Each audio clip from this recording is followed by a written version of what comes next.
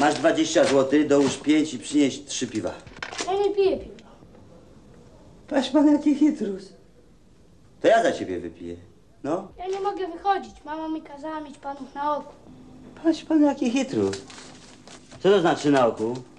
No, żeby panowie nie grzebali w szufladach, nie wyjadali z lodówki, no i żeby panowie nie zaglądali do kredensu, bo tam jest wódka.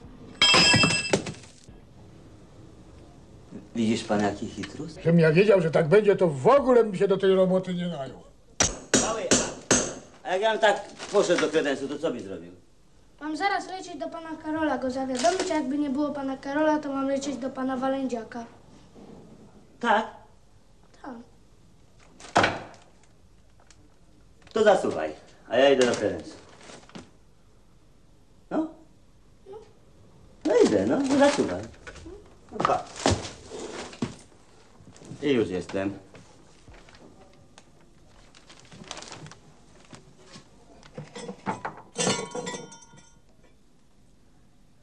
Widzisz pan jaki chytrus? Trzymają alkohol w kredensie. A, a co to jest? To jest winiak luksusowy Polish No i gdybym wiedział, że mają taką wódkę, to w ogóle bym się tej roboty nie podjął. To Jasne. znaczy, że panowie nie będą pili tej wódki.